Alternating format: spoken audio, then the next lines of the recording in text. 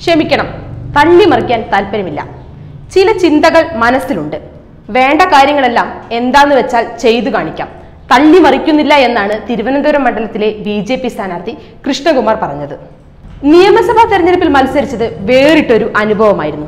School തെരഞ്ഞെടുപ്പിൽ പോലും മത്സരിക്കാത്ത താൻ നിയമസഭാ തെരഞ്ഞെടുപ്പിൽ മത്സരിക്കാൻ ഇറങ്ങിയത് ജീവിതത്തിലെ മറക്കാനാവാത്ത അനുഭവമായിരുന്നു.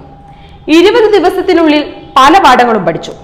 സ്ഥാനാർത്ഥിക്ക് ഫലമറിയുന്നത് വരെ ടെൻഷൻ ആയിരിക്കുമോ? എങ്ങനെയാണ് അവർ കാത്തിരിക്കുന്നത്? എന്നൊക്കെയായിരുന്നു പണ്ട് ഞാൻ ആലോചിച്ചിരുന്നത്. എന്നാൽ കാത്തിരിപ്പിനൊരു സുഖമുണ്ട് എന്നാണ് കൃഷ്ണകുമാർ പറയുന്നത്. തെരഞ്ഞെടുപ്പ് പ്രചരണം മൂലം അഭിനയിച്ചു വന്ന സീരിയൽ ഷൂട്ടിംഗ് മുടങ്ങിയിരുന്നു. സീരിയലിന്റെ സംവിധായകനോടും നിർമ്മാതാവിനോടും അക്കാര്യത്തിലുള്ള നന്ദിയും കൃഷ്ണകുമാർ അറിയിച്ചു. സ്കൂൾ തെരഞ്ഞെടുപ്പിൽ പോലും ഞാൻ നിന്നിട്ടില്ല. മറ്റുള്ളവരെ ജയിപ്പിക്കാനായിരുന്നു ശ്രമിച്ചിരുന്നത്. എന്നാൽ തീരദേശത്തെ സ്ഥലങ്ങളിലും നഗരത്തിനകത്തെ കോളനി പോലുള്ള സ്ഥലങ്ങളിലെയും കാഴ്ചകൾ വിഷമിപ്പിച്ചു. സർക്കാർ തലത്തിൽ എങ്ങനെ ഇവരെയൊക്കെ സഹായിക്കാൻ പറ്റുമെന്നതിനെ കുറിച്ച് പഠനവും നടത്തി. തെരഞ്ഞെടുപ്പ് ഫലം എന്തു തന്നെയായാലും അതൊന്നും കൃഷ്ണകുമാറിന് കുഴപ്പമില്ല. സ്മൃതി ഇറാനിയെ പോലെ പ്രവർത്തിക്കാമല്ലോ.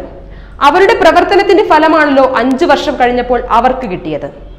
അതുകൊണ്ട് തോറ്റാലും കൃഷ്ണകുമാർ തിരുവനന്തപുരം മണ്ഡലത്തിൽ തന്നെ പ്രവർത്തിക്കുമെന്നാണ് തോന്നുന്നത്.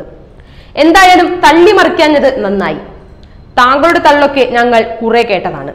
പക്ഷേ പല സർവേകളും വിജയിക്കാൻ സാധ്യതയുള്ള ഒരു സ്ഥാനാർത്ഥിയായിട്ടാണ് കൃഷ്ണകുമാറിനെ കാണുന്നത്. എന്നാൽ ബി ജെ പിയുടെയോ ആർ എസ് എസിന്റെയോ വിജയസാധ്യതാ ലിസ്റ്റിൽ എവിടെയും കൃഷ്ണകുമാറിന്റെ പേരില്ലായിരുന്നു. അതൊന്നും ഇപ്പോൾ കൃഷ്ണകുമാറിന് പ്രശ്നമല്ല. ജയിച്ചാലും തോറ്റാലും അദ്ദേഹം തള്ളിവറിക്കാതെ പ്രവർത്തിക്കുമെന്നാണല്ലോ പറയുന്നത്.